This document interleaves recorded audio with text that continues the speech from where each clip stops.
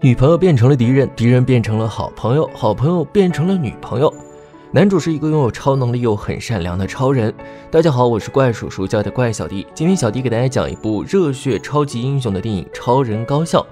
故事一开始，在满是超人的世界里，有两个人脱颖而出。超人统帅和女飞侠则是男主角威尔的父母，他们都是拯救世界的超级英雄。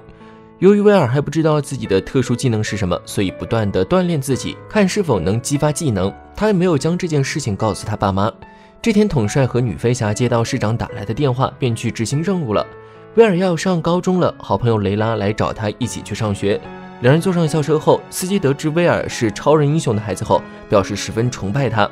新生们都经历了刺激又惊人的飞天校车后，就抵达终点了。在下车时，司机递给威尔一张他的名片，说随时有需要都可以打给他。他们刚来学校，就差点要被高年级的学长敲诈。正在争执时，美丽的学生会会长小慈及时赶到。威尔一看见小慈，就被她深深吸引住了。然而，接下来迎接他们的是根据超能力来分班，分别是助手班和英雄班，每个人都必须到台上表演超能力来决定他们的去处。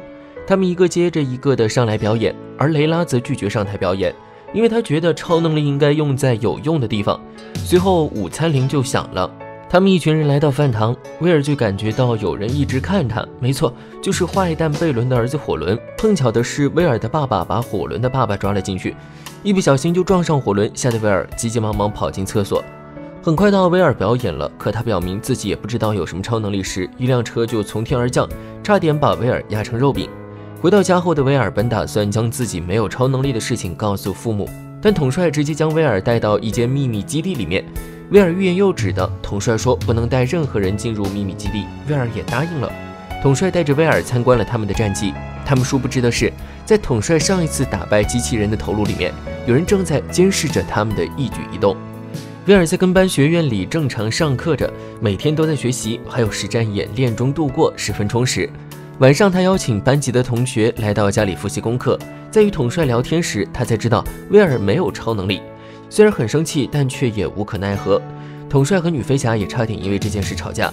在学校吃午餐的时候，威尔被弹簧手给故意绊倒了，饭菜也因此被弄倒。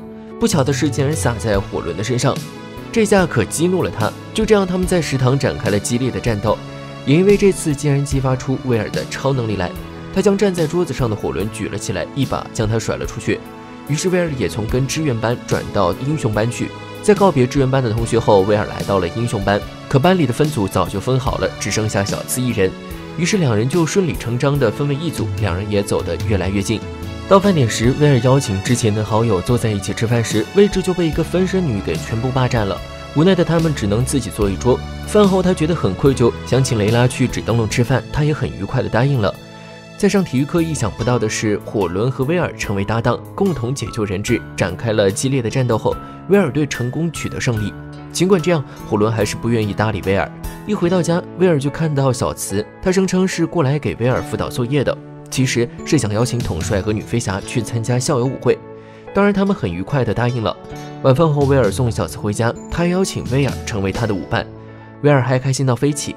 而另一边，雷拉在餐馆等威尔等了很久，结果威尔却没有出现，却意外的遇到火轮在里面当服务员。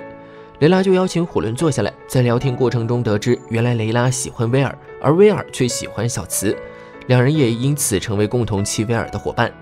晚上，威尔又在和小慈一起做功课，这时小慈接到电话说，因为舞会的布置出现问题，所以小慈打算邀请委员们到威尔家来。结果他们在威尔家开启了派对。小慈还说想和威尔独处，结果他竟然带小慈到秘密基地里，在他和威尔亲吻时，还趁机偷走奶娃枪。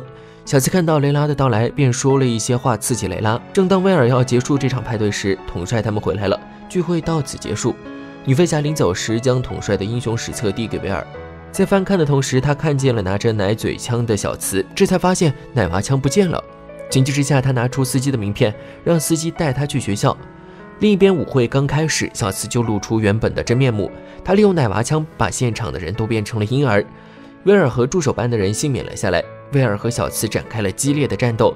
当学校快要坠落时，威尔飞到学校下面，双手举起学校。最终，鼠美成功咬断电线，学校才得以幸免。